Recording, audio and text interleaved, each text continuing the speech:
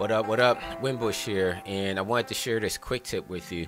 And so, if you're working with your pen tool, and let's say you're drawing out like some roads or whatever you want to do here, and you just start drawing your shape and your viewport perspective, and you say, okay, that looks like a good road there that I want to um, extrude on.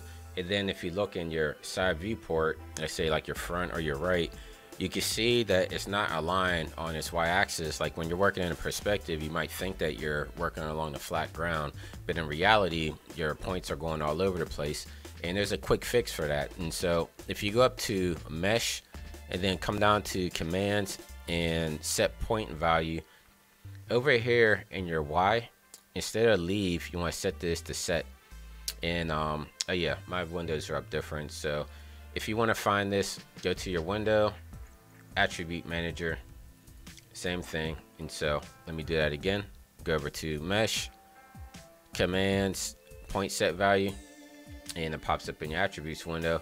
And so for our set we want to set it to zero click apply and you'll see that now everything is flat on this y-axis. You can do that again for the z and x if you need but that's just a quick solution to make everything nice and level so if you look in the right in your front viewport everything's nice and level on the ground so I just want to share that quick tip with you guys. As always leave a comment if you want to know how to do anything else. And thank you guys for watching. I'll see you next time